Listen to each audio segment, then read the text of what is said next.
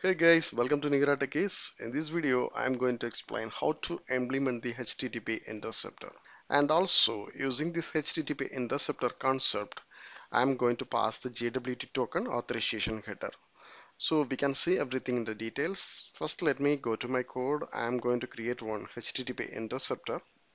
So basically, this HTTP interceptor also the type of service only. So let me create the service so ng generate and service for s. So my service name is token interceptor.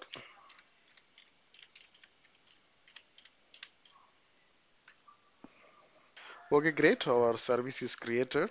So let me open the service. So as I mentioned uh, we are going to use this service as the HTTP interceptor. So I need to implement the interface of interceptor I mean the HTTP interceptor. Okay done. So now it's showing some error.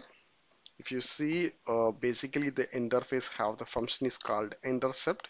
So we need to implement the function. So using this quick fix option we can implement the intercept. Okay fine. We have done. So the function is generated uh, basically we need to implement the logic here. Okay. First let me declare the token JWT token. And after that let me clone the request.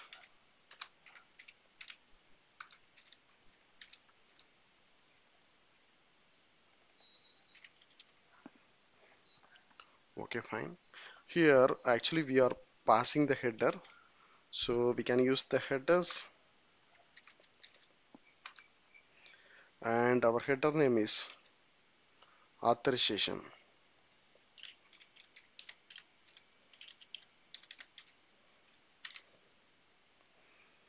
So basically here we are passing the uh, token. That means our JWT token.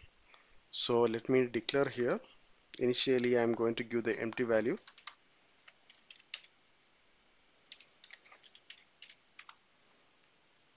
okay fine. And we are using the Bearer token so we have to include the prefix as the Bearer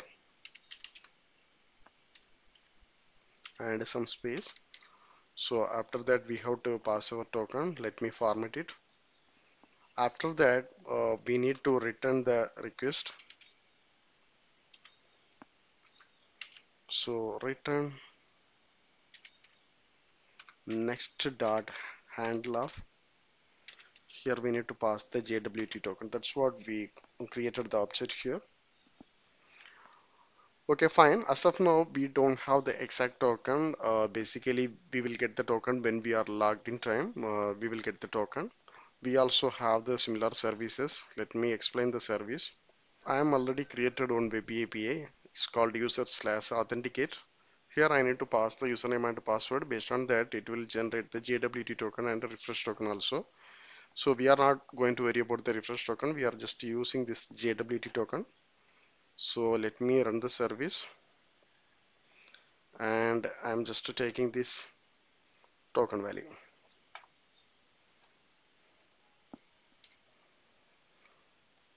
So in the real-time application we will get once we are logged in the time uh, as of now in this video I'm planning to cover only the interceptor. That's what I just hard-coded. That's it. Okay great. Uh, now our HTTP interceptor is ready. Uh, load the data for uh, customer page uh, using the service. So the, for loading the service also we have the service called customer. So okay see it's basically unauthorized because we are not passing the exact token. That's what is showing the error. In case if I am providing the valid token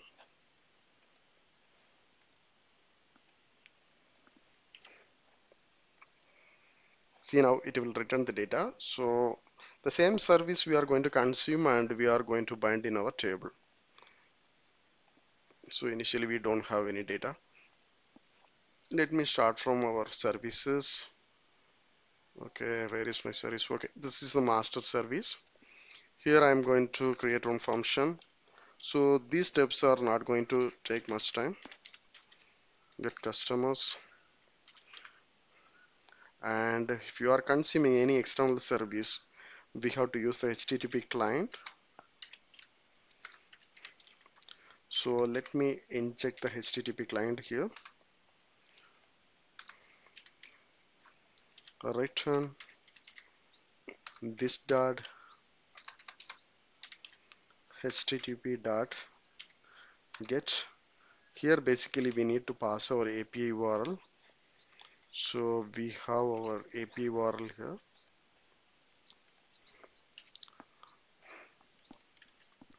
Okay done. Uh, now let me come to the component. The component already I am having the customer list. So inside the constructor here I'm going to inject the service first. So once it's injected we can consume the particular function here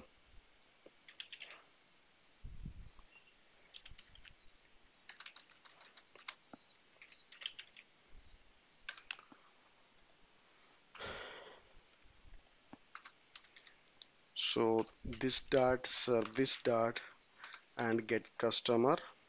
So basically it's the observable data. So let me subscribe it.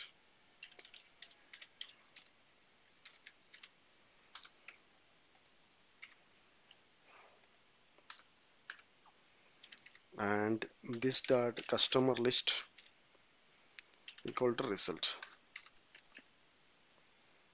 so okay we have done. And in our HTML side so if you noted uh, actually we are generating the for loop for this customer list object and we are binding the data. So let me see the output now. Okay done. Now we can see the output now. Okay still the data are not loaded. Let me verify in the network side. Okay 401 error see the status code is 401 error actually we are requesting this URL the reason is actually this is a secured service. We supposed to pass the token so otherwise we cannot access the particular service. That's what we are implementing the HTTP interceptor. So as of now we implemented our HTTP interceptor. At the same time we are consumed the external API in our another services. But we are not passed the token. That means we are not included this interceptor service in our app module. That's what we are facing this error. So let me go to the app module. This is the very important step we have to include this in the provider side. So in the provider the first input is provide.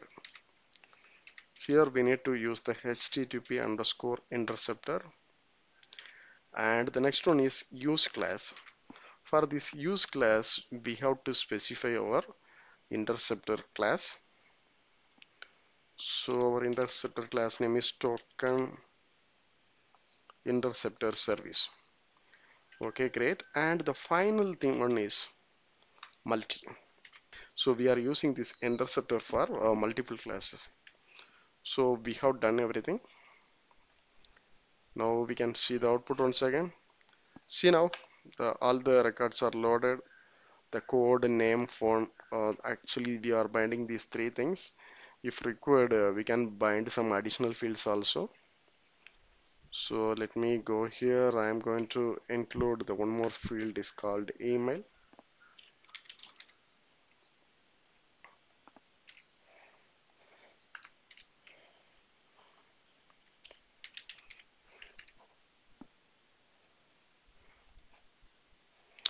see now one more field was uh, included but why the data are not binded email? Okay this is the small letter. That's what the data is not binded. Okay we have the data. So let me debug also then you will get some better idea so actually I am getting all the customer related uh, records from this API only and we have the get method. Basically this will return all the records. So when I am trying to refresh the screen so the request is hitting in the get method. So it will re uh, return the data in case uh, and our token is maybe a invalid token or else if I'm not passing the authorization header we cannot get any values because it's completely secured API and the one more thing is this complete API is uh, created using this .NET Core framework. So that video link also I will share in the description if you want get more details about the API and you want to know how to implement the API with the .NET Core framework.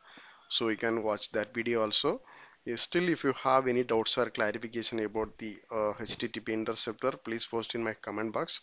And also please don't forget to subscribe my channel. Thank you. Thanks for watching